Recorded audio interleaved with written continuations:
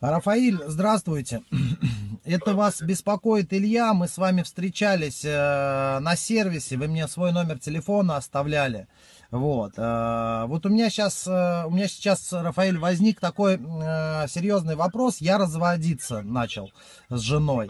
Вот. Жена якобы как бы заявляет на всю страну в своих социальных сетях, там везде, что якобы она меня грубо говоря, кинет на все имущество, на машину, на квартиру и так далее. Вот я бы как бы хотел, чтобы вы занялись моим делом. Возможно это?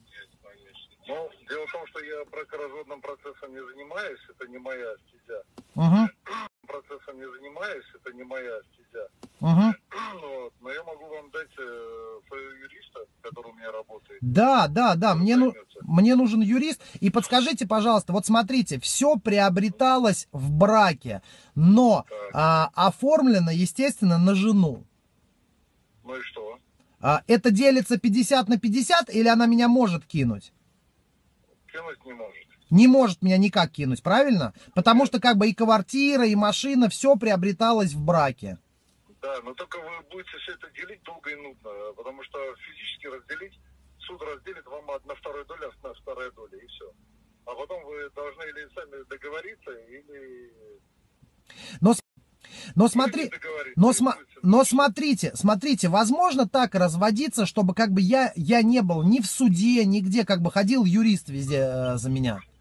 Ну так и будет, только в любом случае, если жена потребует э, для дачи показаний, то суд может вас вызвать в качестве э, свидетеля для дачи показаний. Угу. Ну все, давайте тогда, когда мы можем встретиться, я подъеду к вам в офис или куда, или, или как я это? Я буду в Москве только 11 числа, это воскресенье. 11...